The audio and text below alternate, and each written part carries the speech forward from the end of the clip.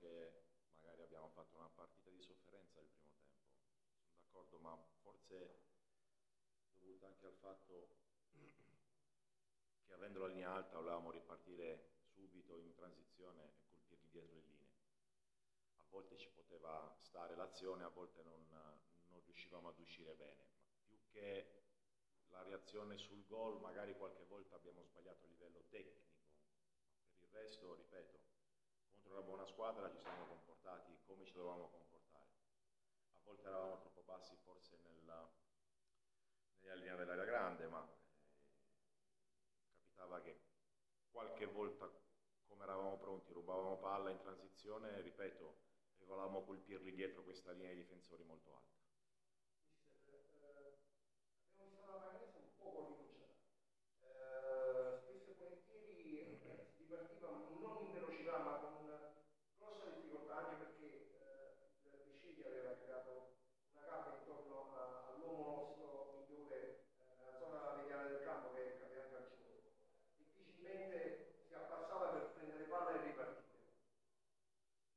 Quando avevo parlato anche di questo con i ragazzi, quando ci bloccano il play davanti alla difesa è chiaro uscire con gli esterni bassi. A volte ci provavamo, altre volte non ci veniva bene l'azione. È chiaro che con i due difensori centrali dovevamo prendere campo soprattutto nella tre quarti nostra, in modo tale che potevamo svolgere nostri, i nostri movimenti e le nostre azioni, ogni qualvolta Carcione era ingabbiato dalla squadra avversaria.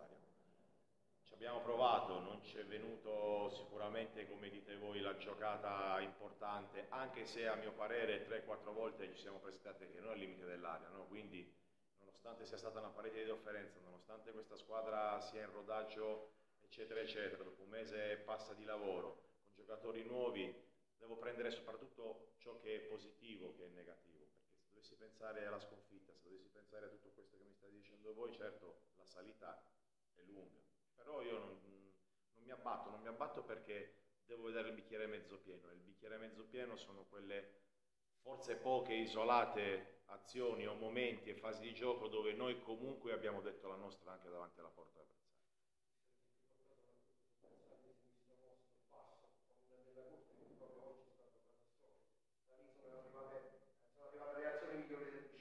Ma non credo che della Corte sia stato darsi che eravamo un po' distanti tra le parti e non è solo il singolo, io non giudico mai i giocatori anche perché, ripeto, io e i miei ragazzi vi fate i complimenti perché vedo, devo vedere soprattutto ciò di che positivo è stato fatto. Se poi è capitato con questi lavori in ampiezza sui calci perdevamo l'uomo, questo è un altro paio di maniche. Comunque non credo sia stata una giornata disastrosa per chi perde, perde la corte. Se si va in difficoltà si può anche andare in difficoltà per l'amor di il ragazzo ha espresso quello che eh, doveva esprimere, che ha dato, ha spinto, ha messo le palle in mezzo, ripeto, magari con un po' più di tecnica si poteva fare meglio, per il resto non giudico la prestazione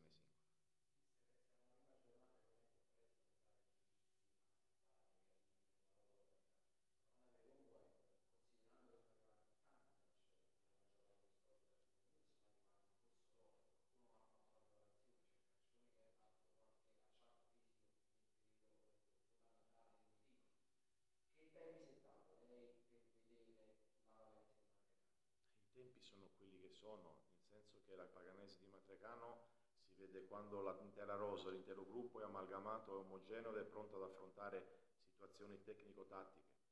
In questo momento, ripeto, noi abbiamo fatto la partita che dovevamo fare, abbiamo trovato una buona squadra che a volte ci ha messo in difficoltà, ma questo è il campionato di Serie C. I tempi chiaramente in Lega Pro non devono essere lunghissimi perché voi sapete che in campionato, a parte non corto, però partire magari con un maluccio significa poi rincorrere dopo e non è facile, non è mai semplice. Preferivo ecco, partire magari col piede giusto per, per, continuare a lavorare su queste situazioni che tu mi hai detto. Al momento purtroppo eh, siamo in corso d'opera e cercheremo di fare più punti possibili nel momento in cui l'intera rosa è pronta a disposizione sotto tutti i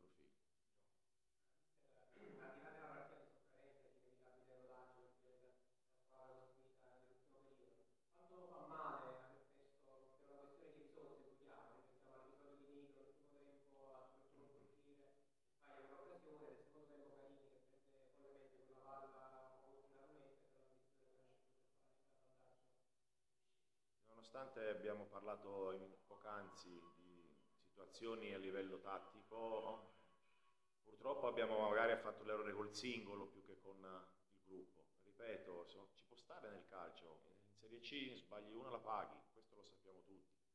Ma io non ripeto, non condannerò mai il singolo giocatore, perché se c'è un problema lo deve risolvere l'allenatore, con i ragazzi durante la settimana.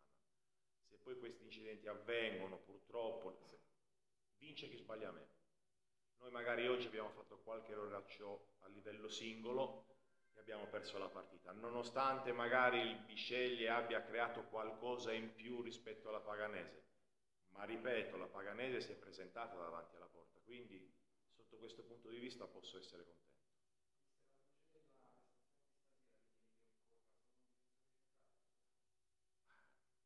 Adesso, adesso capite il mio stato.